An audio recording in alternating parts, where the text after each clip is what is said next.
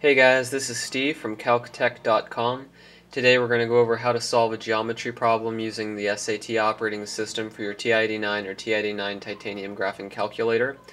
Uh, basically what it is is a software program that you load onto your calculator to help you increase the speed at which you make calculations and then also make your calculations more accurate while taking the actual test.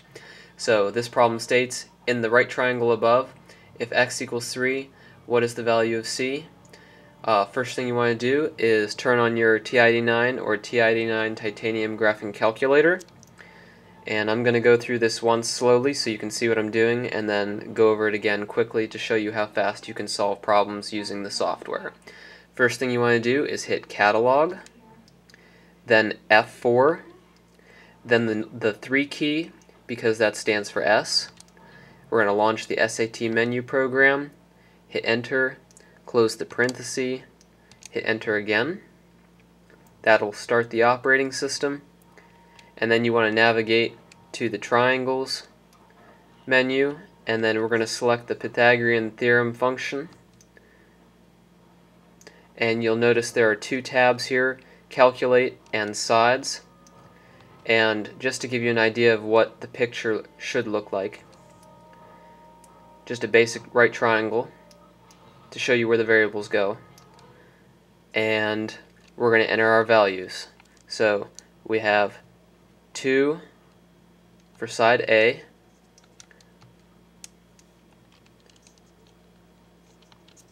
three for side B,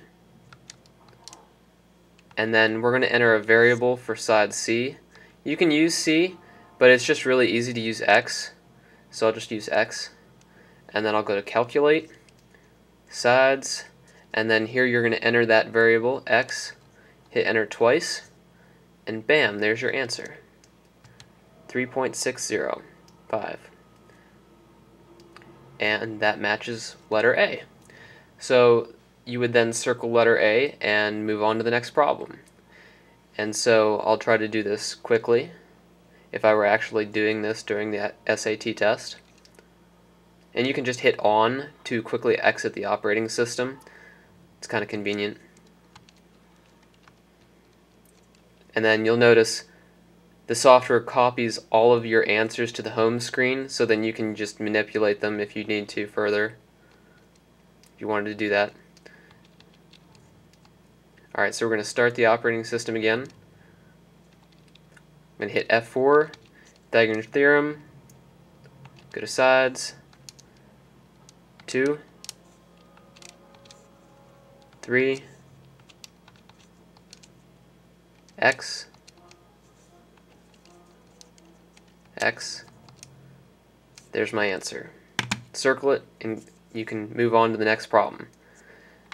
Okay, now if you want any additional help, you can go to calctech.com slash support.html and we offer premium technical support via phone and Skype uh, for $20 per hour in prepaid increments, and we also offer a premium HD video tutorial section like this where we do other real problems that you would see on an actual SAT test. Thank you.